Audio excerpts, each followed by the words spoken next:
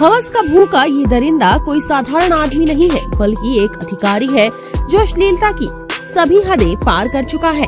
जी हाँ उत्तर प्रदेश सचिवालय के बापू भवन में तैनात अनुसचिव इच्छाराम, अधीनस्थ कंप्यूटर ऑपरेटर से छेड़छाड़ व अश्लील हरकतें करता रहा। आरोप है कि महिला इच्छा इच्छाराम की 2018 से झेल रही थी। विरोध करने पर नौकरी से निकलवाने की धमकी देता रहा। जिसके कारण महिला ने उसकी हरकतों को नजरअंदाज कर दिया और किसी अधिकारी से शिकायत नहीं की, जिसके कारण इच्छाराम पूरी तरह से बेलगाम हो गया और वह अक्सर कार्यालय में ही उसके साथ अश्लील हरकतें करने लगा। अक्टूबर में कार्यालय में काम करने के दौरान इच्छाराम ने महिला कर्मचारी से छेड़छाड़ की। परेशान होकर पीड़िता ने 29 अक्टूबर को हुसैनगंज थाने में तहरीर दी, जिस पर पुलिस ने मुकदमा दर्ज कर लिया, लेकिन आरोपी की गिरफ्तारी नहीं की।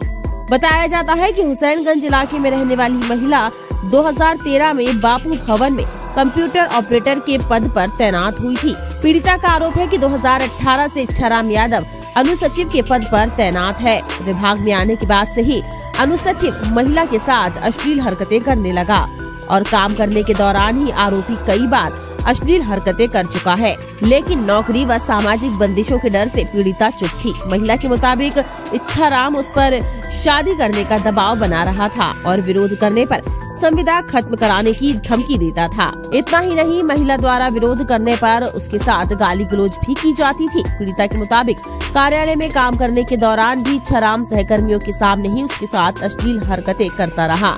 सभी कर्मचारियों को वह धमका कर रखता था, जिसके कारण अनुसचिव का कोई भी विरोध नहीं करता था। लेकिन एक दिन महिला के साथ हो रही गलत हरकत का वीडियो सहकर्मियों ने तैयार कर लिया, जिसे मुकदमा दर्ज कराने के दौरान पुलिस को सौंपा गया। आपको बता दें कि बुधवार की शाम को महिला से अश्लील हरकत करते हुए इच्छाराम यादव का वीडियो सोशल मीडिया प्लेटफॉर्म पर वायरल हुआ।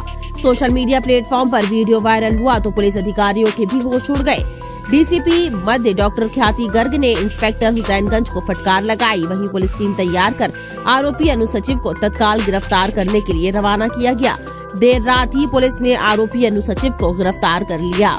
इस मामले में अपर मुख्य सचिव सचिवालय प्रशासन हेमंत राव ने बताया कि छराम की निलंबन की प्रक्रिया चल रही है।